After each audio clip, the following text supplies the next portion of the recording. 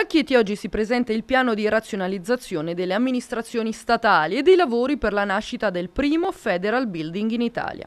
La buona notizia resta il dietrofront del governo sul caso dell'accorpamento delle prefetture. Ci saranno tre grandi poli al servizio della città di riorganizzazione degli uffici pubblici prevalentemente statali, eh, uno destinato a un vero e proprio polo della cultura, un altro agli uffici finanziari, dei corpi di polizia, ad altre funzioni e poi la cittadella giudiziaria che va eh, prendendo forma.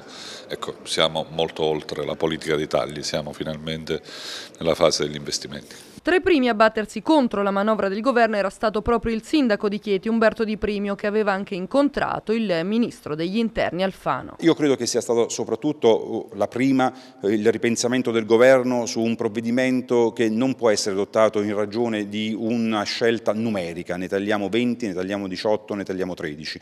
E poi credo che sia valsa, soprattutto per la nostra di prefettura, proprio questa organizzazione che come città ci siamo dati e come uffici periferici dello Stato è stata, è stata data alla presenza sul territorio, che indubbiamente ha fatto riflettere il Ministero, in particolare dell'Interno, sul fatto che Forse Chieti eh, non meritava l'accorpamento, essendo un progetto pilota proprio per, il, eh, per la, la soluzione al problema dei costi degli uffici periferici dello Stato. Il rischio però non sembra scampato del tutto, così come ha spiegato anche il prefetto di Chieti. Adesso bisognerà vedere nel 2017 e 2018 cosa accadrà in realtà.